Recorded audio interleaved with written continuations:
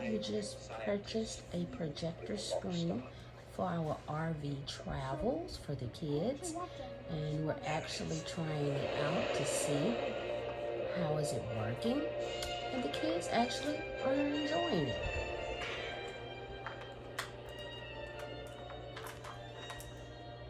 It's nice and small and they're actually watching their favorite movie right now as we speak. So I'm really thinking they're going to enjoy this on our RV travels.